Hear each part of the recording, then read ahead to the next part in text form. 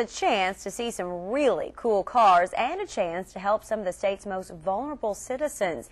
The Keeneland Concours d'Elegance showcases elegant vintage cars. Proceeds from the event benefit the Kentucky Children's Hospital. Stacey Ellison shows you where that money goes. Little Reed Elliott's had quite the fight his first months of life.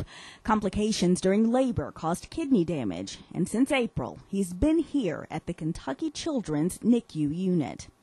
They have made a horrifying experience much more tolerable because of their compassion. They have truly saved our baby's life and um, saved our sanity at the same time. Mm-hmm. The Elliots and countless others share this story. Children nursed to health by the staff here.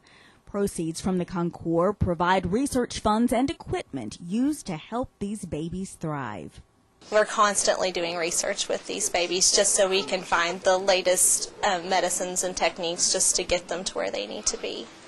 You don't have to ask too far amongst your friends and even your acquaintances how many people uh, the Kentucky Children's Hospital uh, lives touch. I mean, it's absolutely amazing.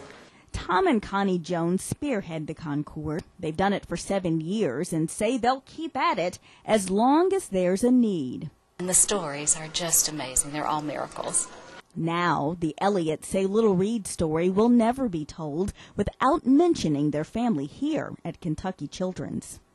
Until you experience this, you don't know uh, what a gift it is. Stacy Ellison, WKYT, 27 News First.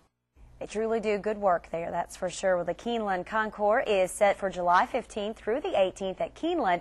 You can log on to KeenelandConcours.com for a complete schedule of all of the events.